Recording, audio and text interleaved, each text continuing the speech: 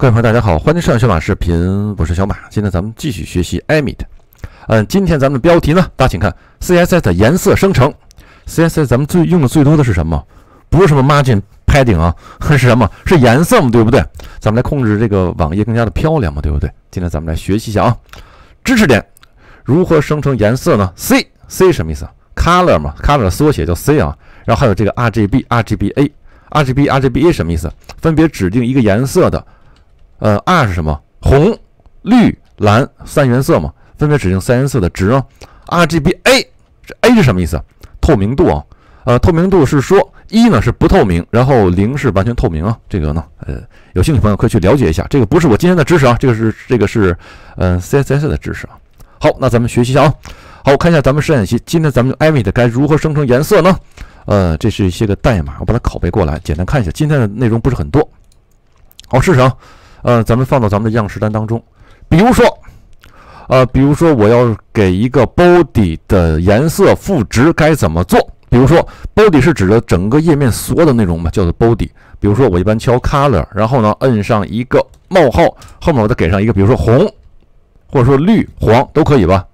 呃，咱一般都是这么写嘛，对不对？如果咱们用这个 emit 该怎么写？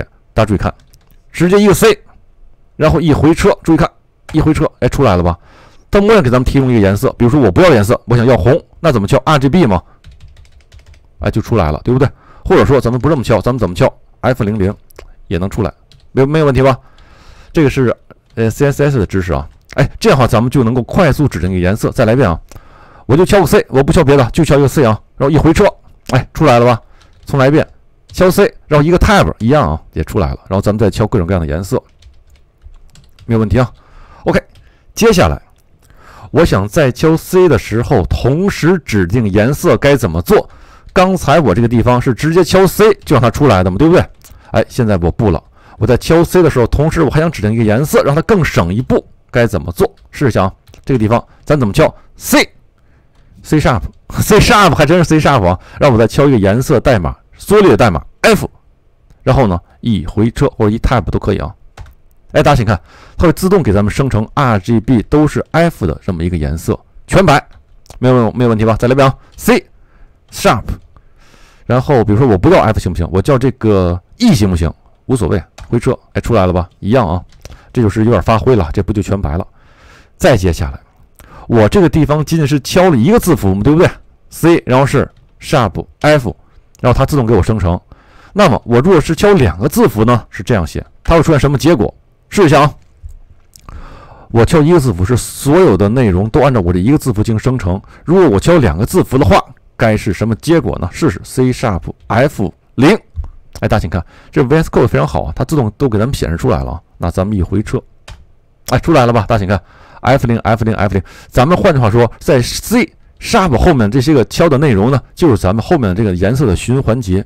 它把它把这个颜色按照 RGB 呢循环三次。没问题吧？这也是非常简单的写法啊。再接下来，RGB 该怎么做？直接敲 Color，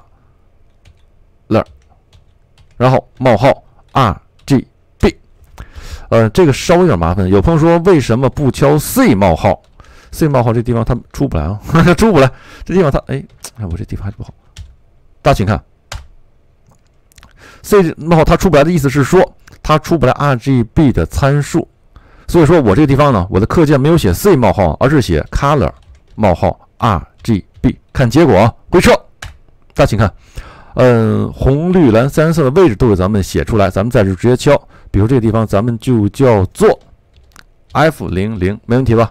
然后一个 tab，然后呢这地方咱们叫，稍等我敲个 sharp，零零 FF 零零，没问题吧？OK，再接下来 blue 的地方咱们敲零零 F。都无所谓吧，OK。换句话说，我这敲 color 冒号 RGB 的话，它会给咱们生成什么？会给咱们生成这三个参数。如果咱们只敲 C 冒号 RGB 的话，咱咱还得自己敲括号反括号，然后再敲这三个值，就不方便嘛，对不对？